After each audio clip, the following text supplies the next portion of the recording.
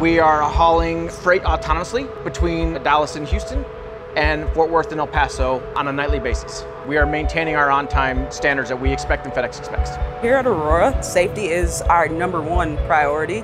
Our dispatchers will work with FedEx to come up with a good testing plan, come up with a good plan for us to haul goods. We have a very efficient feedback loop between vehicle operators and developers. They're able to tweak the code, update this virtually, and send it back out to us. FedEx's Dallas Hub will bring a trailer to our South Dallas facility in Palmer, Texas. After it's inspected, we will autonomously move that trailer to the Houston facility, where they will then reassign us a trailer coming back to our South Dallas facility. With a lane like this between us and Houston, it's a good opportunity for both of these hubs to see the type of technology and the type of innovation that FedEx is bringing in for uh, all of us.